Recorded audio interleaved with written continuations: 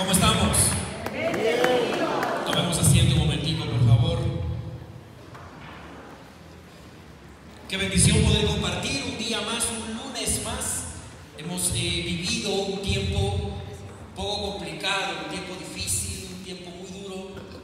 Hemos estado complicados con la parte de la política, del Estado, de los gobernantes, del presidente, de los indígenas, nuestros hermanos indígenas. Pues tuve la bendición esta tarde de compartir al menos un momento con ellos en la caravana que hacían eh, justamente en la, en la llegada acá a la ciudad de Ambato. Estuvieron en el parque de Ceballos y me habían pedido que, que estuviera un momentico con ellos esta tarde, pues y pudimos eh, compartir un poco de música y también más allá del pensamiento político, porque como ya lo decía el Padre, cuando uno está metido en las cosas de Dios y cuando uno tiene un compromiso con el Señor es un poco difícil emitir un criterio político, porque mucho más de ello nosotros tenemos que irnos a la parte real, a la parte humana, sean de los colores que sean, sean hermanos indígenas, mestizos, como usted y yo nos, nos eh, cataloguemos, como usted y yo nos sintamos en esta vida, pues eh, más allá de eso, pues somos hijos de Dios. Y el católico y la persona que obviamente pues estamos en el camino del Señor, más allá de reclamar lo reclamando, nosotros nos quedamos de la palabra reclamar con la palabra clamar. Usted y yo llamados a clamar por el país, a clamar por los gobernantes, a clamar porque el tiempo de Dios y porque la voluntad de Dios se vaya manifestando, como dice la palabra en el Antiguo Testamento, gobiernos y autoridades están en mis manos.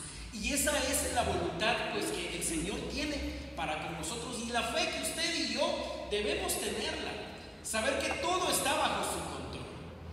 Todo este tiempo ha sido un, un- un tiempo pues muy difícil, complicado, un tiempo en donde hemos de pronto pues eh, experimentado, hemos sentido y hemos visto tantas cosas que de pronto a los ojos de los hombres, a nuestros ojos, hay muchas cosas de injusticia, porque la política es así, la política es muy injusta.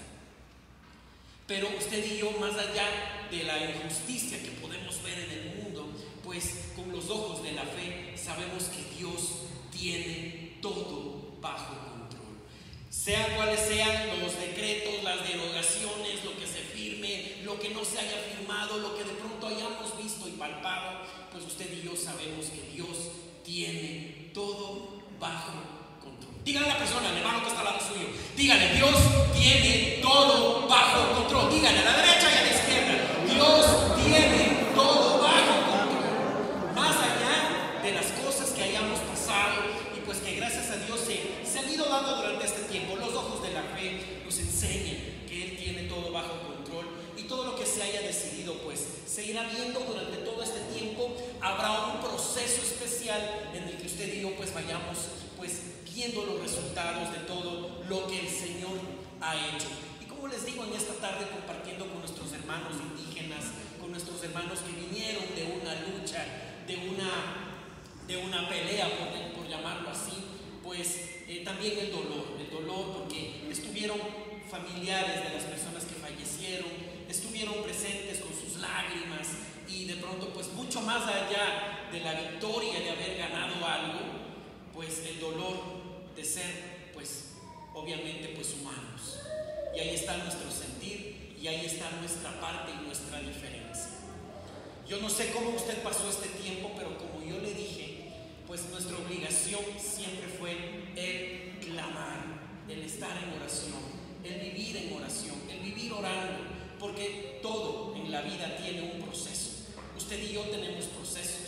Hay pruebas que vienen a la vida, hay desiertos que vienen a la vida, y usted y yo estamos llamados en medio de todo ese desierto, es a clamar, doblar nuestras rodillas, orar, entregarle al Señor. Cada video que se miraba en redes sociales, todo lo que nos decían los medios de comunicación, su, su labor y la mía como católicos, siempre clamar, siempre doblar nuestras rodillas y confiar en que, que- que el Señor tiene que, ya le dije en su momento, tiene todo bajo control, todo bajo control, ¿sí? Él es poderoso, Él es omnipotente, Él sabe cómo hacen las cosas, Él sabe en qué momento país también tiene que temblar, nuestro corazón tiene que temblar, nuestras familias tienen que temblar. Y como dice el libro del Apocalipsis, yo estoy a las puertas de su corazón, golpeando, golpeando. Si ustedes me abren, yo entraré en ustedes. El Ecuador fue consagrado al sagrado corazón de Jesús, al sagrado corazón de María. El, el país fue. Y por eso es que a pesar de todo, hemos sido un país bendecido. Al menos, bueno, como hablábamos con este grupo de personas esta tarde, Ambato también ha sido una ciudad muy bendecida, a pesar de todo.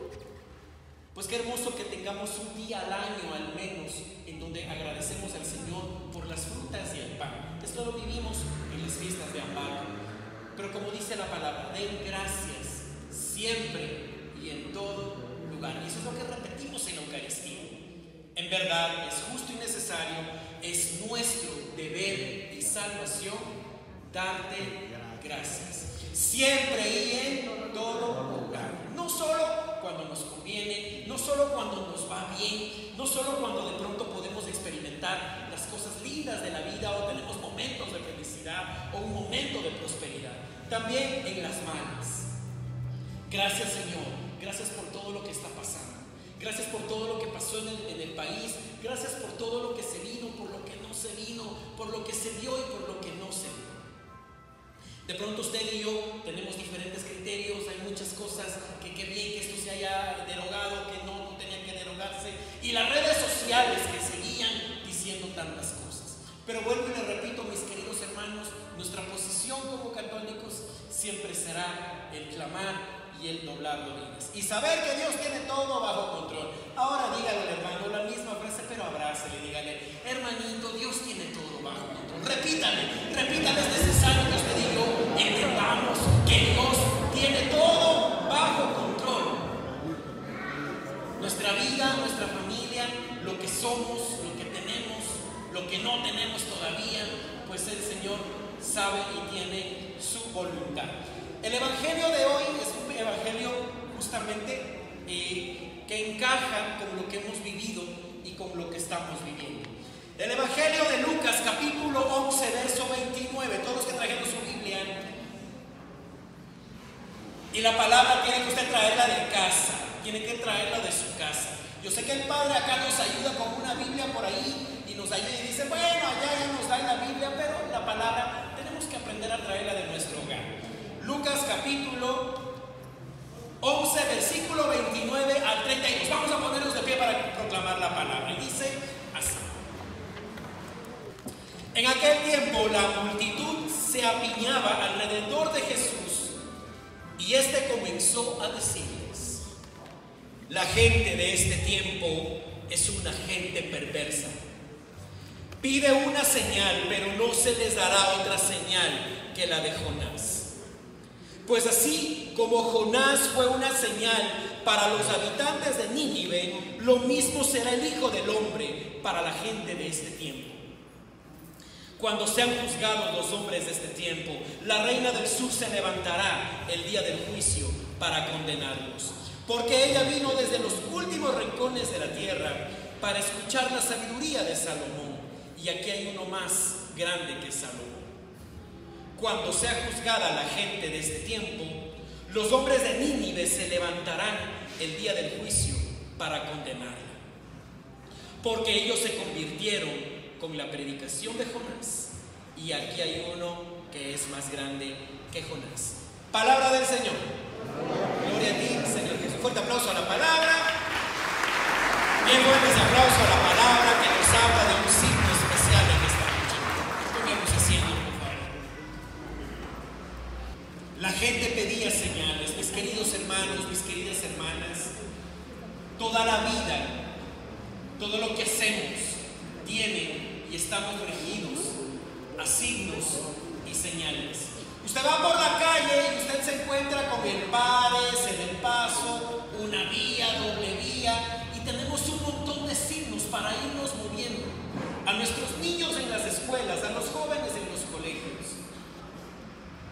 Siempre pues hay una pedagogía de signos y el Señor siempre usa signos. La palabra de Dios es un libro precioso, lleno de signos, absolutamente.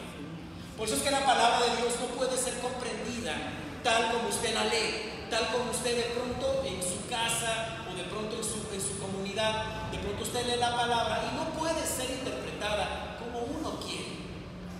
Por eso hay el magisterio de la iglesia y hay muchos libros detrás de un texto para poder entender lo que el Señor quiere. Pero más allá de eso, usted y yo debemos entender que la palabra del Señor es una palabra para nuestro tiempo.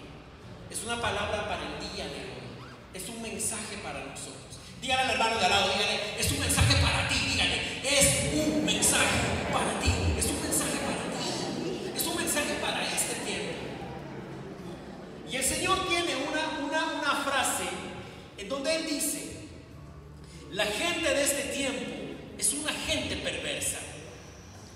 Pide una señal, pero no se les dará otra señal que la de Jonás. ¿Qué pasó con Jonás? Y ahí viene el signo. Jonás tenía una misión. ¿A dónde tenía que ir Jonás? Tenía que ir a predicar a Nínive, porque Nínive se estaba perdiendo, porque Nínive estaba inundada de pecado, estaba inundada de fornicación, adulterio y todos los pecados. Y el Señor le dice, Jonás, vete a predicar allá y diles que mi tiempo está llegando. ¿Y qué pasó con Jonás? Ah, mejor mañana, Señor, ahora estoy ocupado. Señor, no puedo esperar un tiempito más. No, es que tengo cosas que hacer mejor. Predico la otra semana ya. Y como él se iba despistando de la voluntad de Dios, y él pensaba que Dios ni siquiera le veía, es más o menos lo que pasó con Adán, que creyó que ocultarse detrás de un arbusto, porque cuando el Señor bajó le dijo, Adán, ¿por dónde estás? ¿En dónde andas? Y Adán le dice, estoy escondido, pero el Señor sabía en dónde estaba. Usted y yo no podemos escondernos. Usted y yo, su corazón no va a poderse esconder. Y nos ha pasado que cuando estamos por ahí queriendo de pronto caer en la tentación, muchas son las tentaciones. Pasan cosas, pasan cosas del corazón y de pronto uno dice, no, no, pero Diosito me ha de perdonar esta vez. No, no, no, pero Diosito no me ha de ver. Y creemos que por escondernos detrás de un arbusto, detrás de pronto de, de una, por ponerle al Señor ahí un, sentido de, ese arbusto, Él no me ve. Unas copitas nomás, él, él de ley me perdona, no importa. Con ponerle un pretexto al Señor para que usted cometa algo, como en este caso Jonás se quiso hacer el desentendido en una misión, en un llamado. Se quería dejar de la gracia. ¿Y qué pasó?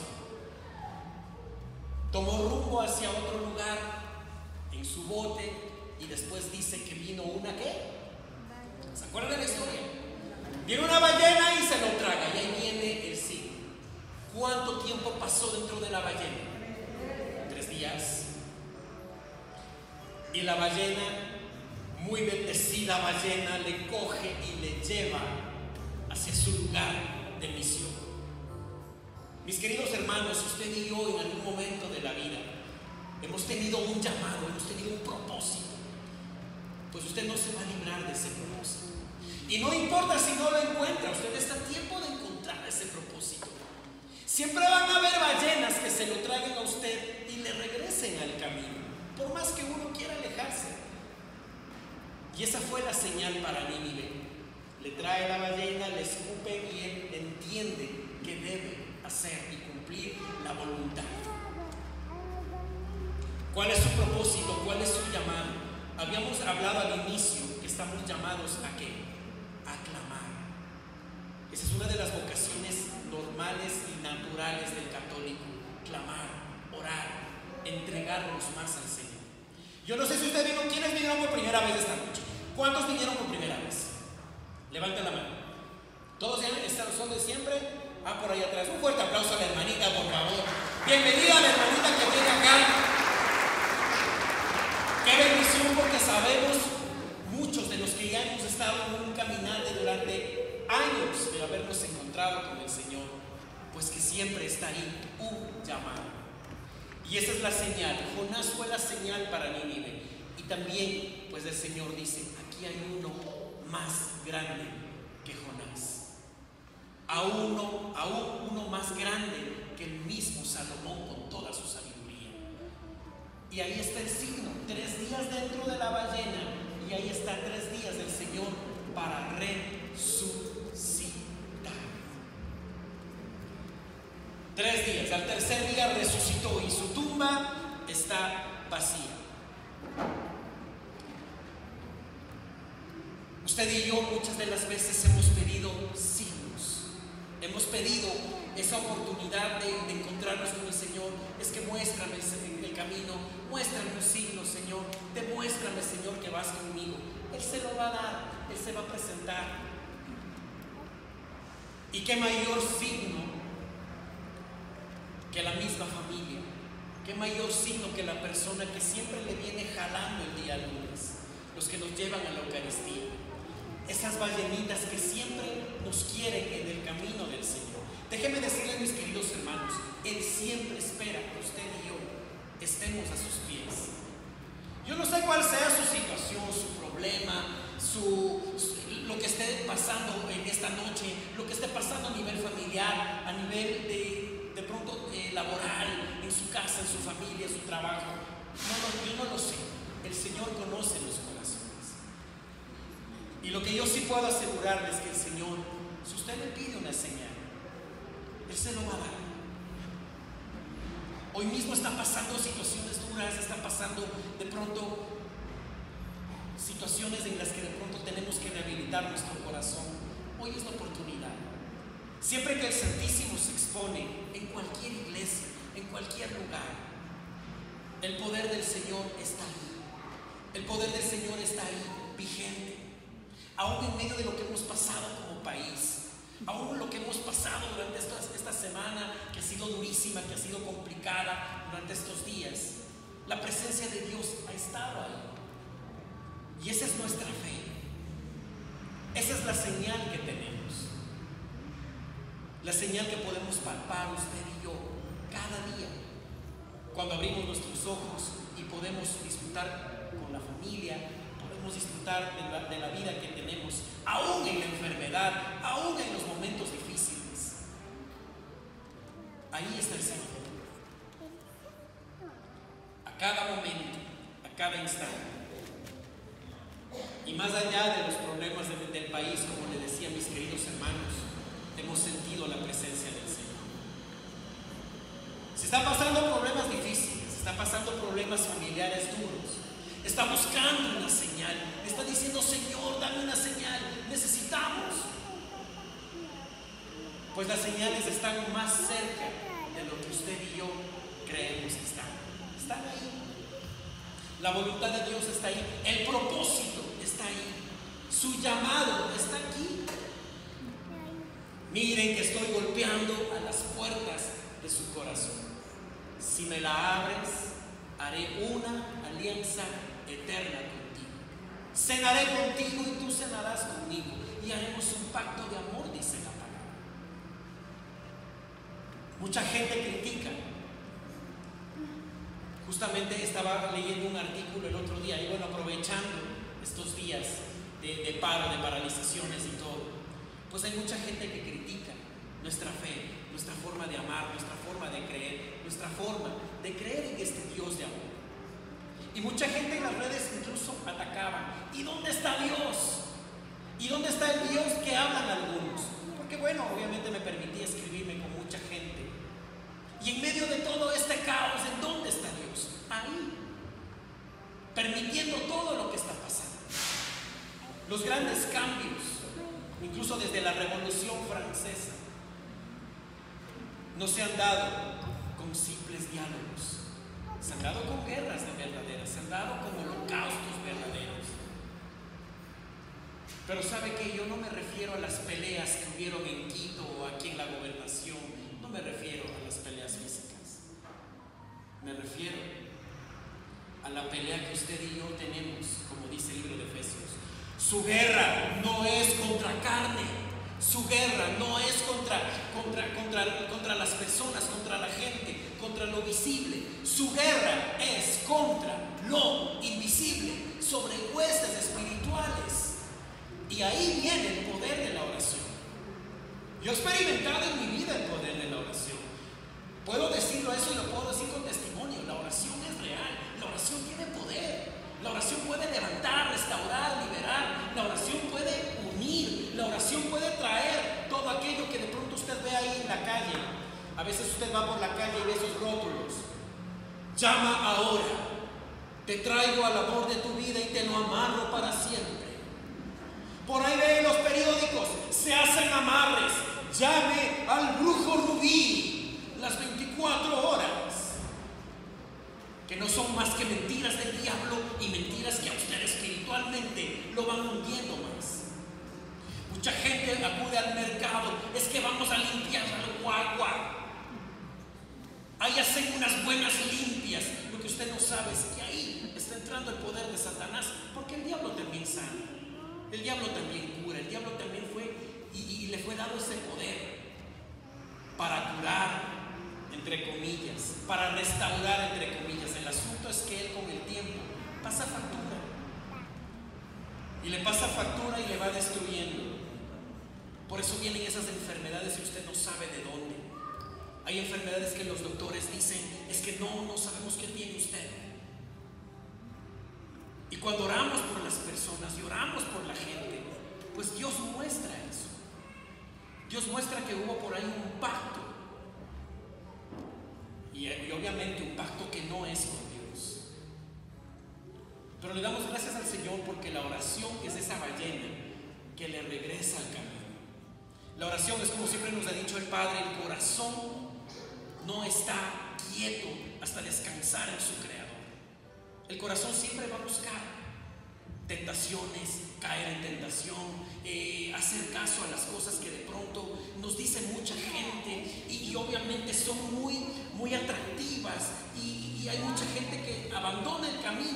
ese atractivo entre comillas.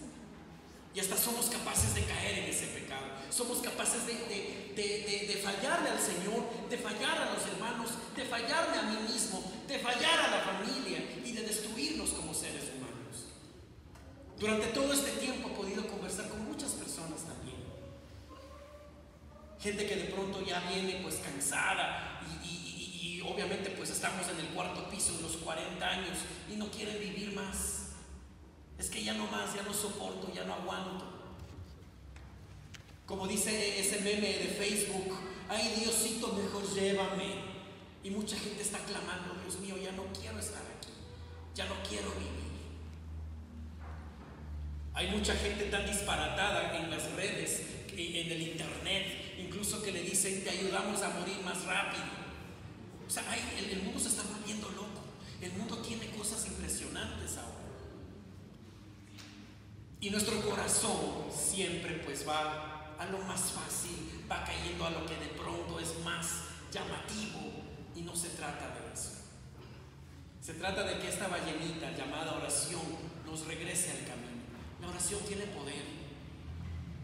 La oración en familia tiene poder. La oración por los hijos tiene poder.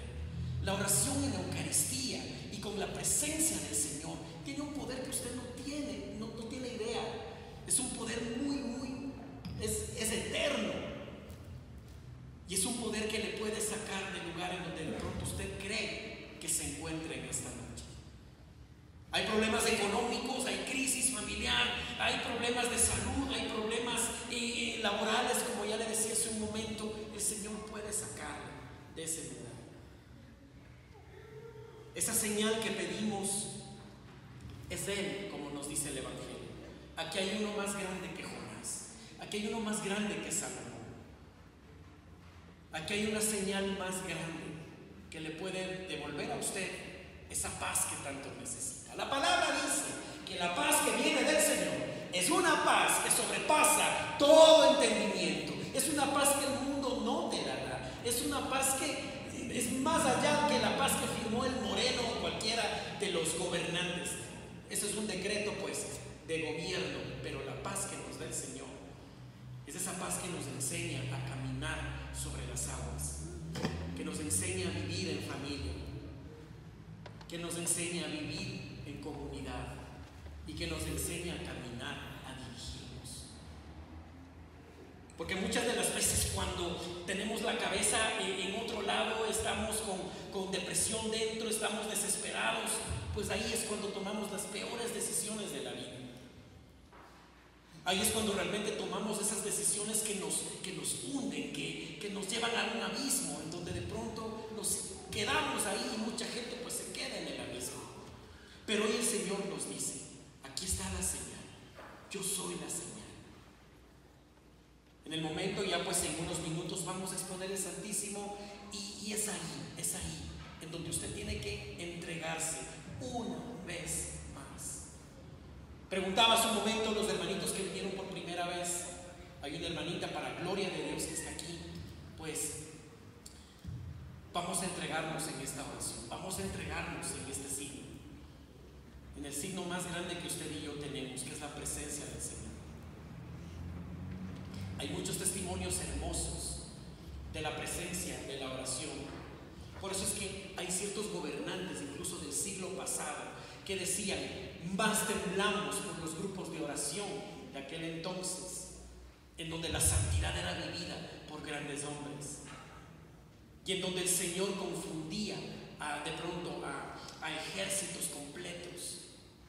Hay un santo que yo admiro muchísimo y siempre, siempre, siempre eh, hablo de él cuando puedo, es el Padre Pío de Pietrelcina, uno de los santos de nuestro tiempo impresionante cuando él en la Segunda Guerra Mundial convirtió a un montón de nazis, de todos esta gente, de los, de los ejércitos de Hitler. Porque cuando iban a bombardear en aquellas regiones, él siendo un santo, pues él se aparecía ahí en el cielo y les dirigía hacia otro lado a los aviones.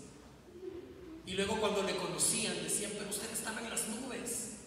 Le dice, sí, yo estaba allá para que no bombardeen estos lugares y se convertían al amor Dios. Hay muchos testimonios en, esta situación de gobiernos. Por eso hay de los grandes gobernantes de antes, que eran muy, muy autoritarios y todo, pues decían, tememos a los grupos de oración, tememos a la gente que ora, mucho más allá que a los que destruyen o están manifestando, tememos más a los ejércitos y hoy es la oportunidad. No sé si usted está en familia, está con su pareja, está con su esposo, su esposa. Si los esposos entendieran el poder que tiene la oración en, en pareja, en conjunto, es impresionante. Usted no dejaría de orar en el día. Usted no dejaría de orar por su esposo, por su esposa. Y no deje que sea tarde para entender. No deje que sea tarde. Levante la mano cuántos están en pareja esta noche. ¿Cuántos están en parejas? ¿Cuántos están en parejas? Qué bendición. Así cógese de la manito, cógese de la manito. Los que tienen la bendición de estar juntos, cógese de la manito. Aquí estamos. Si entendieran los esposos el poder que tiene la oración, cambiaría el curso, cambiaría el corazón de los dos constantemente. Estarían unidos. Usted entendería que ese poder de oración, pues eso se transmite a sus hijos y la familia queda protegida. La oración en familia, la oración en comunidad. Tenemos el signo en esta noche. Es Él, es el Rey de Reyes, es el Señor de Señores, el que todo lo puede. Denle un fuerte aplauso a Jesús en esta noche. Denle un fuerte aplauso porque Él es el que todo lo puede. Él es el que todo, todo, todo, todo lo tiene bajo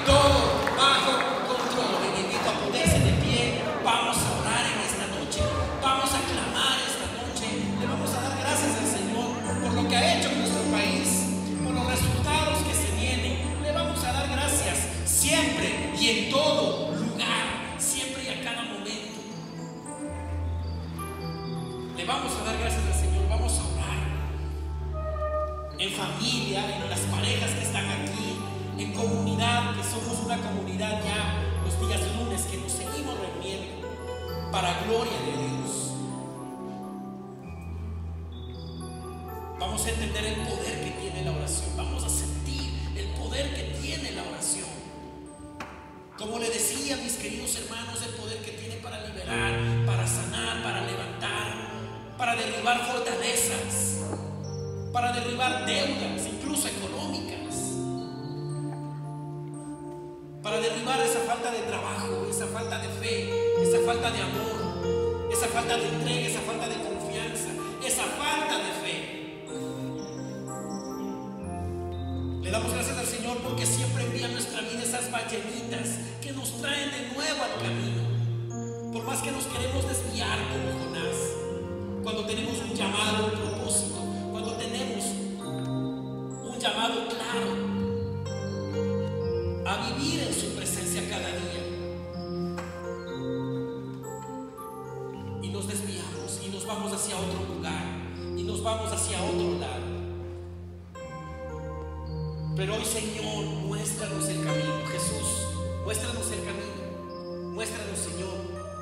hacia dónde vamos.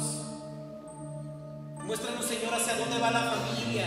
Muéstranos, Señor, hacia dónde va nuestro trabajo. Muéstranos, Señor, hacia dónde va nuestro llamado.